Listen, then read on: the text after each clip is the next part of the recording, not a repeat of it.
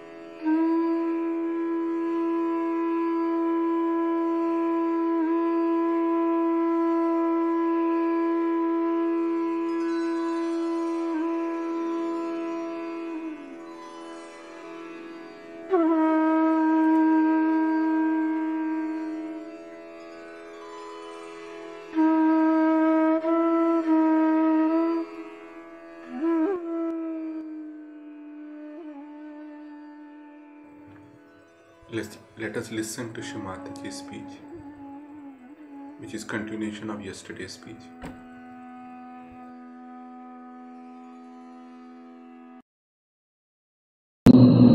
So do not be dominated by luxuries and comforts. I do not mean to say that you unnecessarily torture your body. That's not the point at all because I must give the balancing point always. But do not pamper your body that it becomes a hurdle for your penance. Keep your body clean. Respect your body. And it will be very happy when it will know that you have used it for the divine purpose.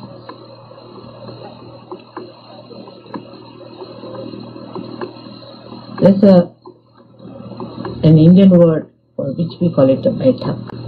Yeah, I don't know. There's no English equal to that. But baitak means the power to sit. That's the gravity. How long can you sit in one posture? What is your baitak? Like uh, any studies or anything, they'll ask, what is your baitak? Have you got the baitak? Is the power to be seated on one point.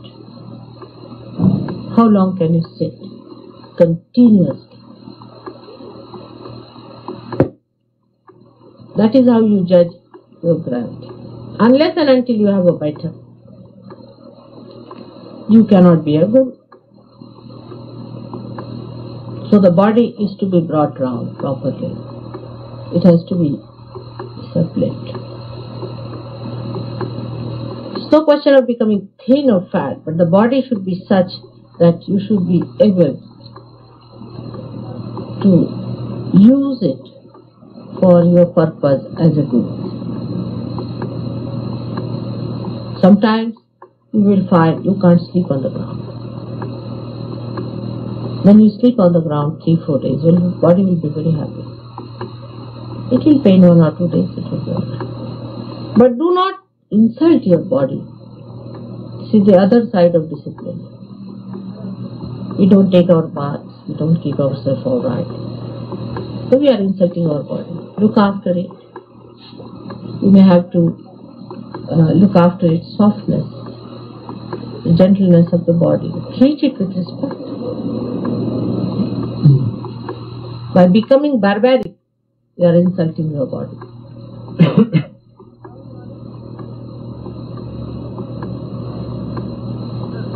so, the body is very important.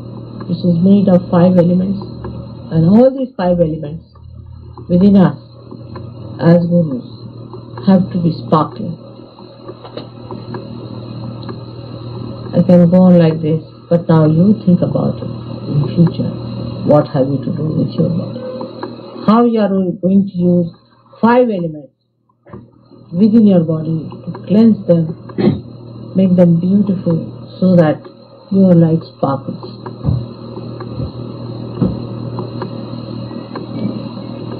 The gravity comes to you in your body this way that you start generating your power or your principle of Gurutva, principle of your mastery through this point of your gravity. The second point is your attention should have that gravity. Your attention is very important. A person who is easily disturbed is not a deep person. Or easily taken to something like, say, emotions. Or easily to some other, say, intellectual pursuit. As gurus, there will be temptations for you.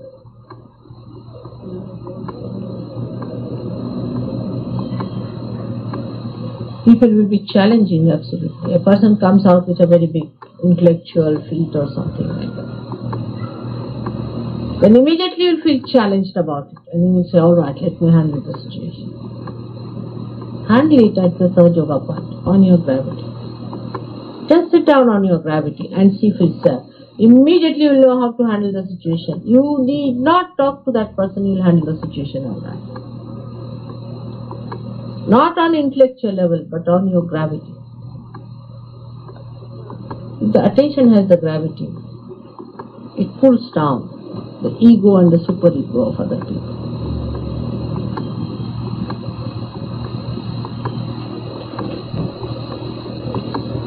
Then you will not be frustrated or frantic. Also, if you can start from outside, it may work out in human beings. It works out. Like study your behavior, how you behave towards others. Or study your attention, how it behaves towards outside. What attracts your attention? What attracts your attention? Study your attention. By that study, you will be able to fix your attention in its maryada, in its boundaries. Once you put the boundaries to the attention, then the depth starts developing. The person who has no boundaries can never have depth. He'll be spreading just like that all through. No depth at all. So you have to put boundaries by understanding your attention. That no, not more than that. Alright, not more than that. Like some people in surgery, they get interested in a patient. Then for them that patient becomes important. Or get interested in some person that he must get realization. Say my mother, my father, my, my, whole thing. And all the time they are talking about my jobs, my clothes, some sort of a my.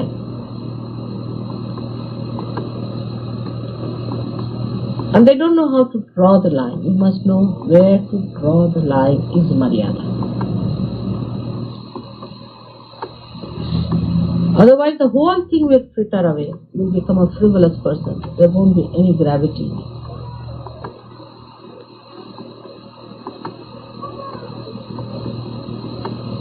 So you must know how far to go with a person when you are dealing as a guru. Then you are a master.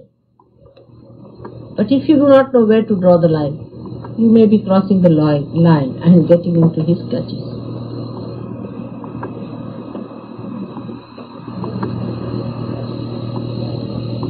So the best way is to handle the situation is to get into thoughtless awareness. Again and again and again and again. And you establish that clearly. Now some of them do complain to me that it's not a easy thing to do. It's the easiest thing to do. If you give up all other useless things that you are doing.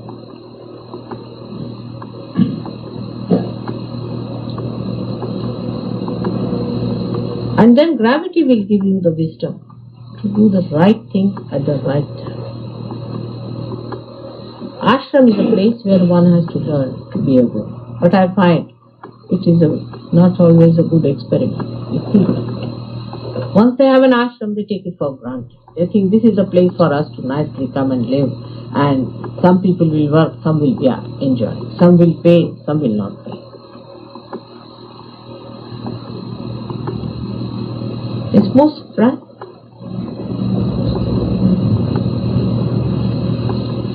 You must immediately find out a person who really has the spiritual authority and try to follow it. Instead of that, we try to mix up with people who are of a lower spiritual authority. And he sleeps till 9 o'clock, everybody sleeps. In an ashram, nobody should sleep after 6 o'clock. Hmm. It's an absolute thing. Absurd. You must sleep early, get up early. Otherwise, you can stay outside.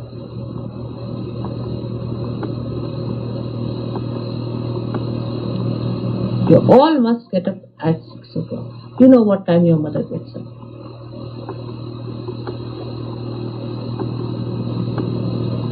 And what I find, nobody is up here.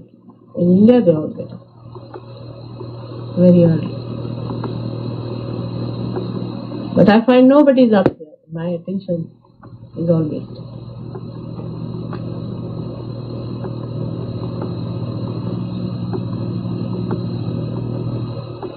And you don't realize that how important all these things are. This is a training time for you. For this you are born, you have been seeking this for ages now, you got it now, you must discipline yourself. But I have seen in ashramas where people pay a big amount, they get up at 6, 4 o'clock, 3 o'clock. Because in Sahaja Yoga, everything has to come from you. This is the style it is.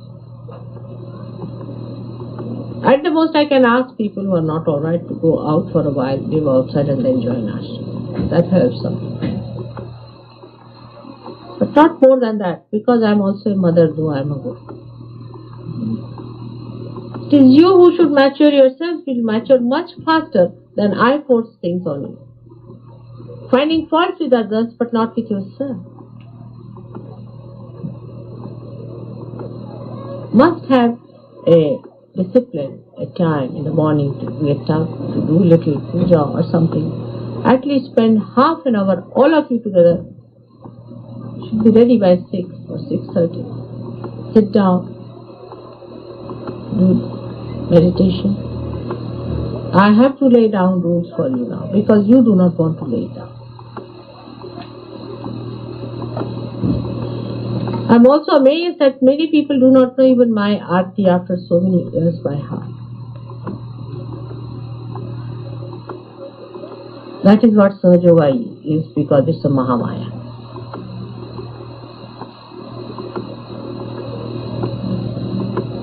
So you have to learn it yourself. You have to do it yourself. It's easy to talk about Sahaja very simple. Stand up and talk because they, you have heard from your mother, you talk. We have, it will have no impression on another person. It will fritter away. Because must come from your center of gravity.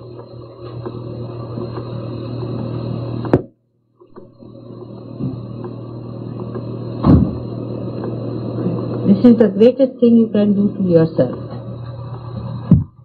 Is to discipline yourself fully and compete in disciplining yourself and make your body alright, your attention correct.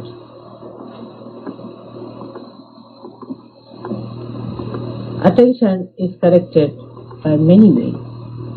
As I said, watch your attention, where does it go?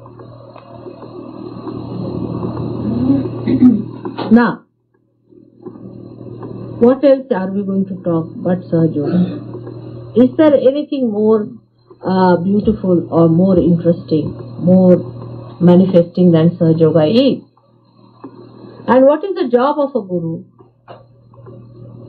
Is nothing but to expose the Parabrahma itself, the whole working of the divine. That is the job of a guru to expose the complete working of the Parabrahma is the job of a guru in the modern times. Not only raising the Kundalini, but after raising the Kundalini, you should be able to tell all about the divine powers and everything. For that, you have to learn, you have to read, you have to understand. Do you understand now the difference between the old gurus and modern gurus? because they were brought up with such tremendous dis- discipline and hardly one or two used to be made gurus. They went through such studies and such interrogations and examination and tests that by the time they were 75 or so they became gurus. But you have to do it quick and the best way is to do it yourself.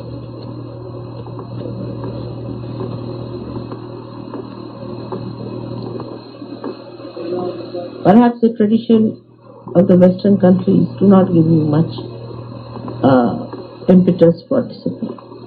That's called as cutting up your freedom, perhaps. But a disciplined person is the only one who can be a Sahaja. Spontaneity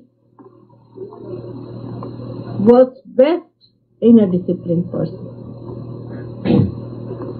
disciplined person is the one who knows the technique and the energy is the spontaneity. But a person who is frittered away, what will spontaneity do with it? It cannot work it out. The instrument is so hard. So you discipline yourself so that others will be disciplined by your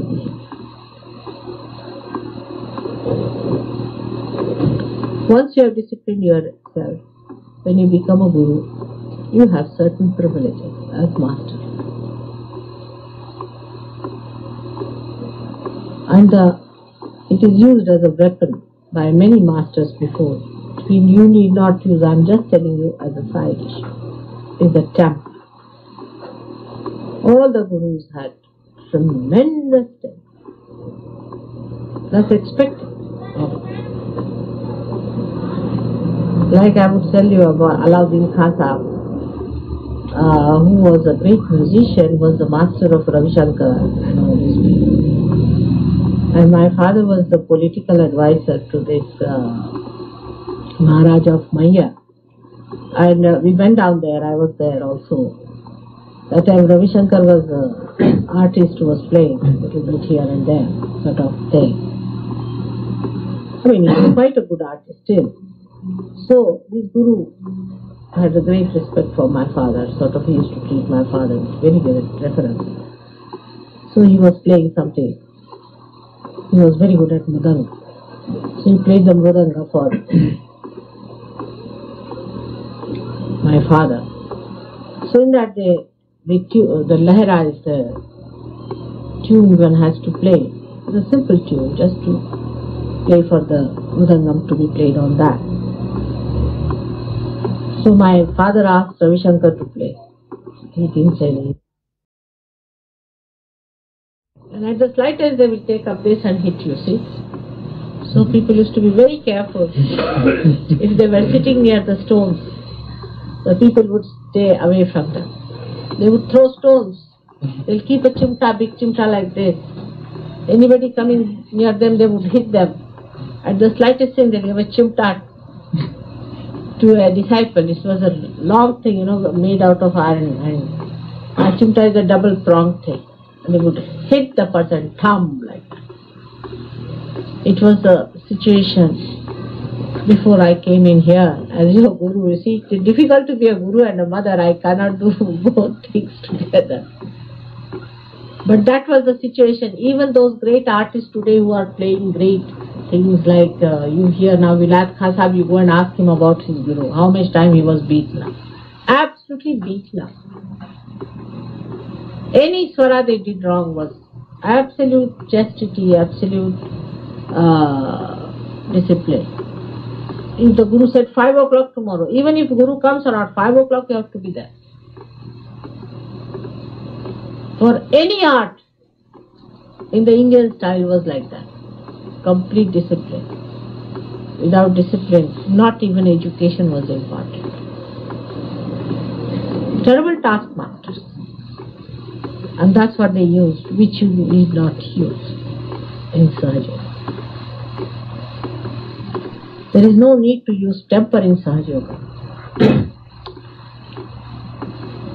there is, because I have not given you, imparted any knowledge to you with temper. Perhaps there could be hardly anyone who has seen me in a temper.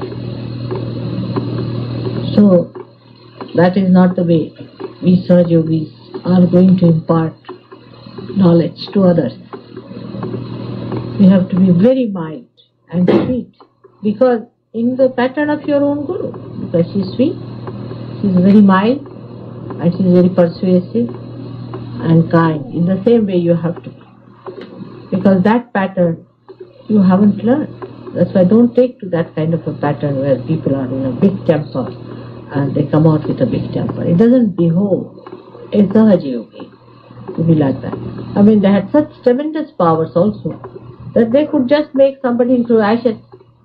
See, with such a temper they lived, and uh, they had one guru uh, somewhere, like a I call it rock of Gibraltar, that you face him and you hit your head.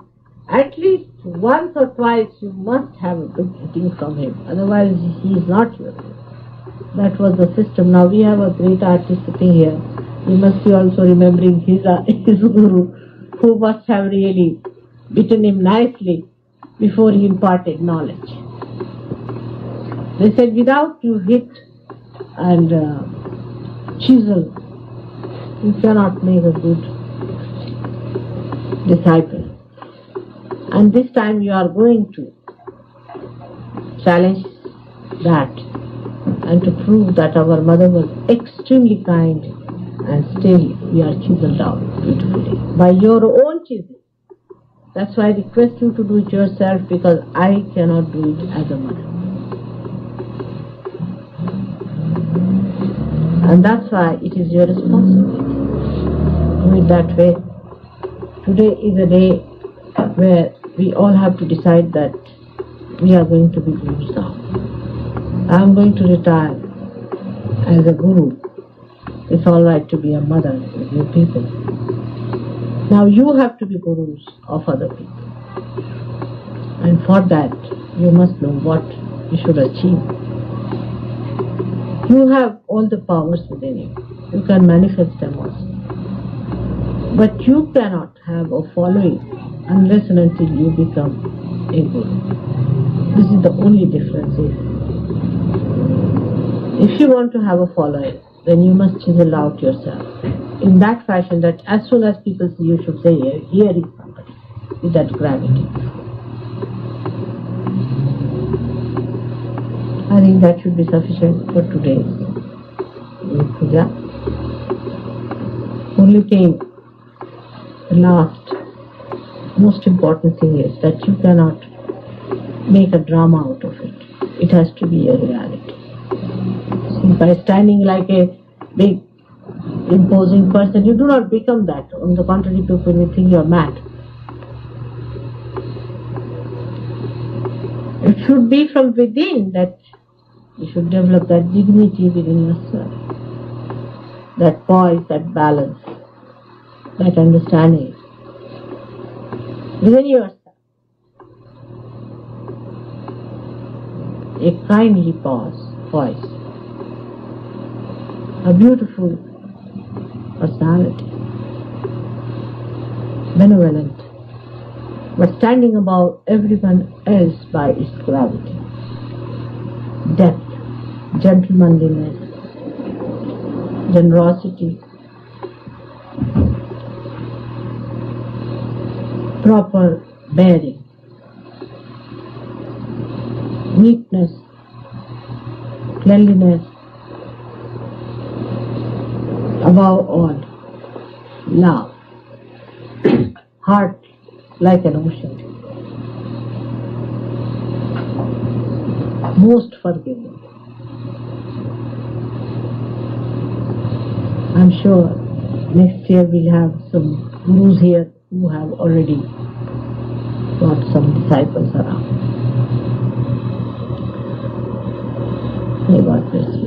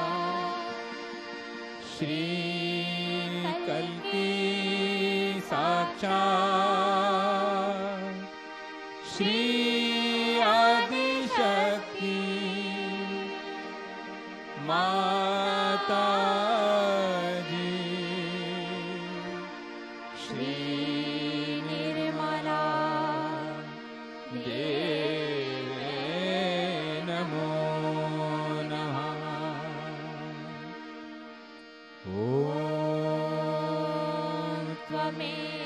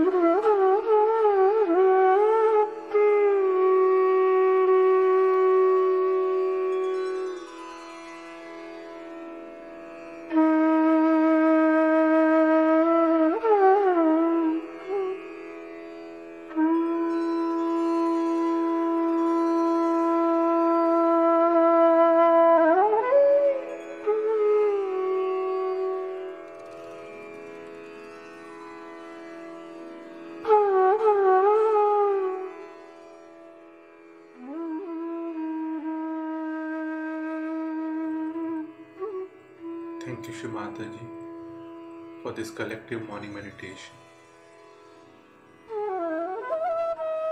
thank you for this thoughtless state Jai Shri Mata ji let's bow down to Shri Mata ji raise our mother Kundalini and put mandir